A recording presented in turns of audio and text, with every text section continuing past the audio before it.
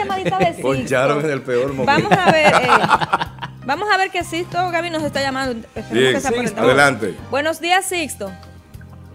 Buenos días, buenos días, jóvenes. Buen día. Sí, bueno, eh, el tema que ustedes están tratando es realmente de fondo y, y precisamente es un tema bastante interesante.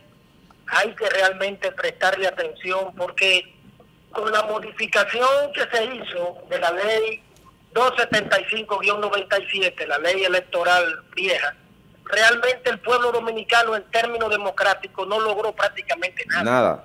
O sea, la actual ley también es antidemocrática y sigue secuestrada por eh, los por la partidocracia tradicional y no hay una oportunidad eh, para organizaciones alternativas para a organización y para sobre todo candidaturas independientes. O sea, ¿cómo es que un ciudadano o ciudadana se atrevería a decir, bueno, yo me inscribo en la Junta para ser candidato a diputado o a diputada, pero entonces al final el voto del partido, los partidos va a seguir imponiéndose, aún la gente haya votado por ese ese por ese candidato o candidata independiente. O sea, realmente eh, continuamos con una ley electoral muy, pero muy antidemocrática, no solo en cuanto al método de Homs, sino prácticamente eh, entera. Es una ley que sigue atada al tradicionalismo político en el país. Sisto. Entonces, full. es un buen momento, me parece, para que nosotros realmente planteemos, como ustedes lo dicen, el pueblo dominicano le plantee al nuevo Congreso, a los nuevos congresistas, a las nuevas autoridades, que realmente. Sí. tenemos que abocarnos a una real y verdadera reforma electoral. Sisto. La experiencia que decía Sisto. Pacheco, Una la experiencia que decía, Pero- sí, dime. Eh, eh, rapidito, Fulvio, te quiere hacer una pregunta.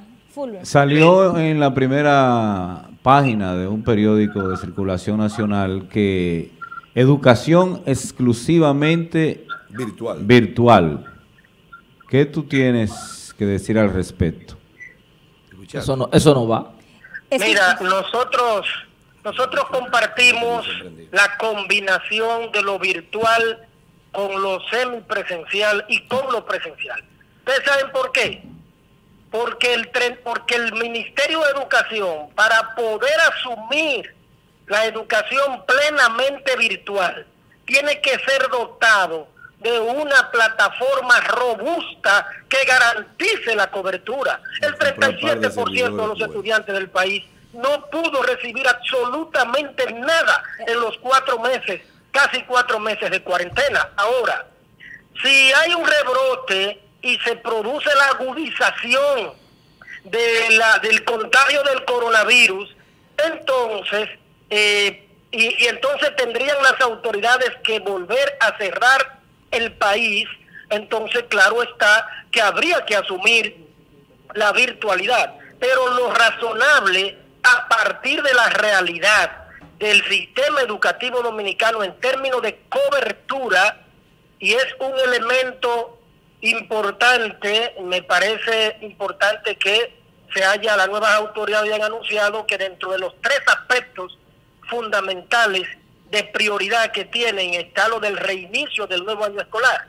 Entonces, si a menos que no se produzca una situación que amerite nuevamente el cierre del país por, el, por los contagios del coronavirus, lo correcto sería, lo razonable, poner los pies sobre la tierra para poder darle el servicio al 100% de los estudiantes es y no excluir, es realmente, se puede combinar, se podría combinar lo semipresencial con lo virtual. virtual. Sixto, muchas Gracias a Cito Gavín por la Decirle a llamada. Sixto, Sixto, te vamos a llamar No, más gracias. adelante para Forma. que nos dé más orientaciones al respecto. atención Sixto, no hay forma, ni virtual, ni presencial, ni mixto.